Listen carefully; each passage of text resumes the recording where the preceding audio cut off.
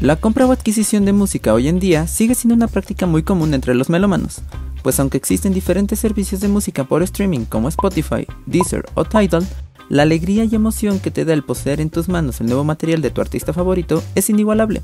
Pero al igual que existe una polémica entre el CD y el vinilo, de la cual ya abordé algunos de los puntos más polémicos en este video, la supremacía entre el formato físico y digital es un tema de debate entre los amantes de la música más empedernidos.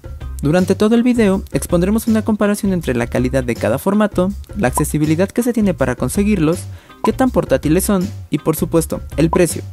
Todo esto considerando las diferentes presentaciones del formato físico, como son el cassette, el vinilo y el CD, contra las características que posee el formato digital. Como expliqué en mi video sobre el cassette, este formato puede superar por mucho a la calidad más alta del formato MP3, obviamente bajo ciertas condiciones. Por lo tanto, podemos considerar que los cassettes cumplen con una buena calidad de sonido. El cassette realmente puede ser portátil.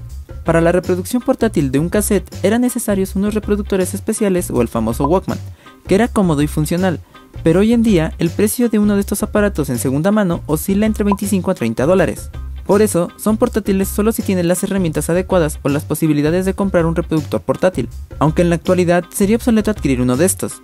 Pero si lo que buscas es poder escuchar este álbum en diferentes aparatos electrónicos como un celular, laptop u otro dispositivo, es posible que no lo consigas de una manera muy sencilla, a menos que cuenten con un código de descarga digital. La accesibilidad con la cual puedes adquirir un cassette en estos momentos es complicada, pues muy pocas bandas actualmente editan su material en este formato. Pero las bandas que llegan a utilizar este formato pueden llegar a vender un cassette más caro que un CD, pues al ser escasos y al no contar con muchos lugares donde poder maquilarlos, estos tienden a subir su precio.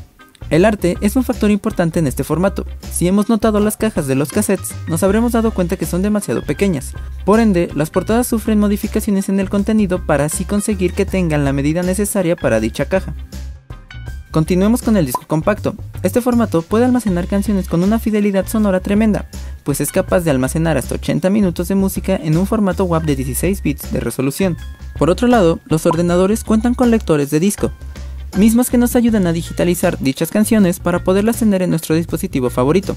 Pero si lo tuyo es querer viajar con tus CDs a todos lados, es mucho más fácil poder acceder a un reproductor de este formato, pues aún en los automóviles es muy común ver autoestéreos con reproductor de disco compacto. Además, al igual que el cassette, existen reproductores portátiles para que en ningún lado te falte la música, aunque hoy en día con la salida de gadgets cada vez más pequeños puede ser incómodo traer uno de estos por la calle en la actualidad. El conseguir un CD en alguna tienda comercial o especializada en música es aún más sencillo que buscar cassettes o vinilos, pues aún sigue dominando dentro de los formatos físicos por los puntos anteriores y por los precios que son bastante accesibles en comparación con los demás formatos físicos, teniendo precios desde los 3 dólares. Terminando los formatos físicos tenemos el vinilo, que como lo he dicho en algunos videos anteriores, tiene la mejor calidad de audio entre los formatos físicos, pero contando con una pérdida y deterioro más veloz que los anteriores, pues al ponerlo por primera vez en una tornamesa, este pierde un poco su calidad, logrando que cada vez que la aguja toque el surco del vinilo, este vaya deteriorando el sonido del mismo. Claramente, el vinilo es el formato menos portátil de todos, pues no es demasiado cómodo y fácil de transportar, aun cuando existen este tipo de reproductores portátiles hoy en día. Por otro lado, la digitalización de este formato es complicada y tardada de hacer. Al igual que el cassette y simplificando este proceso, en algunas ocasiones se añade un código de descarga digital dentro del vinilo. Actualmente, los precios de este formato pueden iniciar entre los 15 o 20 dólares. Por otro lado, las tiendas de música han vuelto a reabastecerse de este formato, y es más fácil conseguir vinilos de tu artista favorito. Si el arte de un CD te pareció genial, el de los vinilos logra cautivar a los melómanos, pues su arte es tremendamente más grande en comparación del disco compacto. Por último, tenemos el formato digital, el cual puede ser adquirido en diferentes formatos, iniciando con el formato WAV, que es el formato con mayor calidad, hasta el MP3 más pobre que puedes imaginar.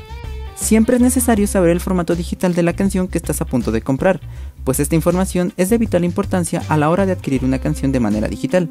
Por obvias razones, el formato digital es el más portátil de todos, pues lo puedes tener en todos lados, la computadora, memorias portátiles o celulares.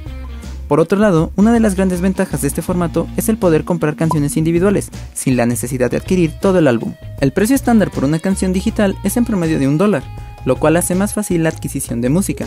Además de que existen diferentes portales como iTunes o Bandcamp que te dan la posibilidad de adquirir música dentro de un enorme catálogo. ¿Qué prefieres tú, físico o digital? Déjame saberlo en los comentarios.